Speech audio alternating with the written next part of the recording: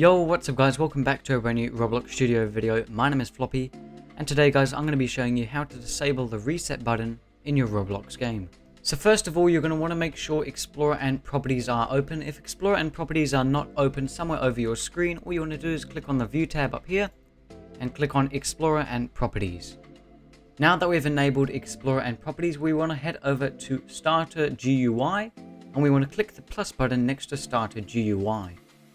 Then we want to insert a local script.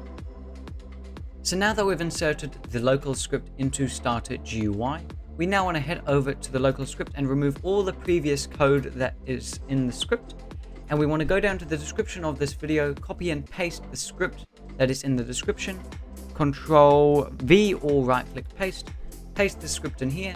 Then what we want to do is close the local script and let's go test it out by clicking home and clicking play. Now that we have entered our test place, we can now test it out. So if we click escape or the Roblox logo, it will load us up this UI. And as you guys can see, the R for reset character is disabled, basically making it so we cannot reset our character. If you guys are a bit confused or lost or you don't really know what you're doing, feel free to send me a message on Discord and I'll happily help you out. But anyway guys, I'm going to wrap up the video here. If you did enjoy, I would appreciate if you do consider liking the video and subscribing to the channel. I'd really, really appreciate it. But anyway guys, have a lovely rest of your day and I'll see you all in the next video. Peace.